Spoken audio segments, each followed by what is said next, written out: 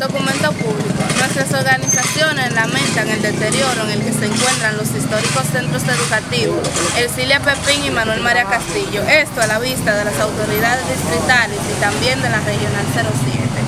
No es posible que las autoridades del Ministerio de Educación de San Francisco de Macorís vendan una revolución educativa de calidad. Con esta grave situación, ¿dónde está el 4% para la educación? Cuando en esto es importante en estos importantes planteles, los estudiantes deben sentarse en el suelo porque no cuentan con butacas suficientes para recibir la docencia.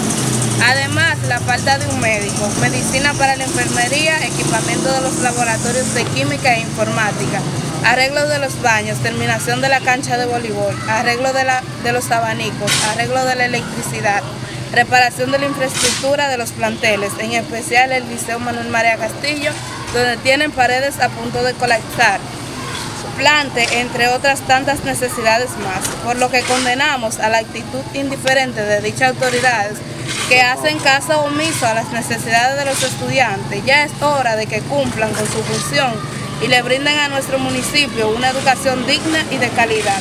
Por lo tanto, hemos luchado para que nuestros jóvenes...